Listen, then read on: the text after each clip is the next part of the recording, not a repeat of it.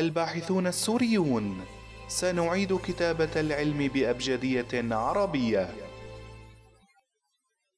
الثوم وضغط الدم.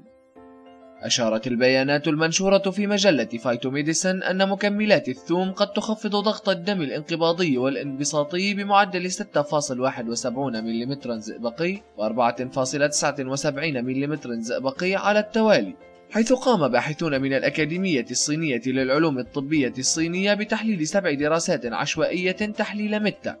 تقارن بين تأثير الثوم على ضغط الدم مقارنة بتأثير استخدام دواء وهمي في نفس الشروط وأشار تجميع البيانات إلى ارتباط الثوم بانخفاض كبير في كل من ضغط الدم الانقباضي والانبساطي وذلك مقارنة مع العقار الوهمي. إضافة إلى ذلك لم يتم الإبلاغ عن أي أحداث سلبية خطيرة في أي من الدراسات. واقترح هذا التحليل أن استخدام الثوم يعتبر أسلوبا فعالا وآمنا للتحكم بارتفاع ضغط الدم والذي قد يكون علاجا بديلا للمرضى الذين يعانون من مشاكل صحية مرتبطة بالأدوية الخافضة للضغط. ولمعرفة أهمية هذا الانخفاض في ضغط الدم فمن المفيد العلم أنه وحسب تحليل متى آخر ل 147 تجربة عشوائية أجريت على أشخاص بلغ عددهم 958 ألف شخص فإن انخفاض متوسط ضغط الدم الانقباضي بمقدار 10 ملم زئبقي أو الانبساطي بنسبة 5 ملم زئبقي من قبل أي نوع من الأدوية الخافضة للضغط يقلل حدوث مرض القلب التاجي القاتل وغير القاتل بنحو الربع. والسكتة الدماغية بنحو الثلث بغض النظر عن وجود أمراض الأوعية الدموية وضغط الدم قبل العلاج ومن دون أي زيادة في معدل الوفيات غير الوعائية. وتطرح نتائج هذه الدراسات إمكانية تحقيق فائدة اقتصادية وسريرية كبيرة نتيجة التأثير الهام للثوم على انخفاض ضغط الدم. والأهم من ذلك بأن مدة العلاج في الدراسات المشمولة بالتحليل تراوحت بين 8 إلى 12 أسبوع. وتم قياس الحد الأقصى لأثار انخفاض ضغط الدم في نهاية العلاج. الثوم والصحة.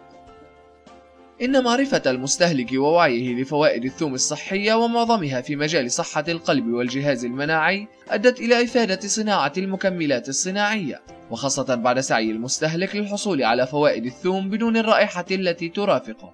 وقد تم ربط فوائد الثوم بمركب الأليسين. والذي لا يوجد في الثوم الطازج بل يتكون فقط عندما يتم سحق الثوم حيث يتشكل من تحطم مركب ديلي 1 سلفايد. وبالإضافة لما بينه التحليل السابق من فوائد الثوم في خفض ضغط الدم فإن تحليل meta آخر نشر في مجلة The Journal of Science of Food and Agriculture خلص إلى أن الثوم قد يقلل أيضا من مستويات الكوليسترول والدهون الثلاثية. كما أفاد باحثون من جامعة شاندونغ University أنه مقارنة مع مجموعة الدواء الوهمي فإن استهلاك الثوم يرتبط مع انخفاض 5.4 في مستويات الكوليسترول في الدم وانخفاض 6.5 في مستويات الدهون الثلاثية. كما تم ذكر العديد من الفوائد الصحية الأخرى للثوم كتثبيط الأنزيمات المشاركة في تركيب الدهون وخفض تراكم الصفيحات الدموية ومنع بيروكسيد الدهون أي تزنخ الدهون. إضافة إلى زيادة الحالة المضادة للأكسدة للمزيد حول فوائد الثوم الصحية يمكنكم قراءة مقالاتنا التالية. الثوم قصة ما زالت تحمل في طياتها الكثير. خلاصة الثوم لمحاربة الجراثيم المعندة المسببة للإنتانات البولية. مستخلص من سحق الثوم الني يقدم أملا لمرضى التليف الكيسي.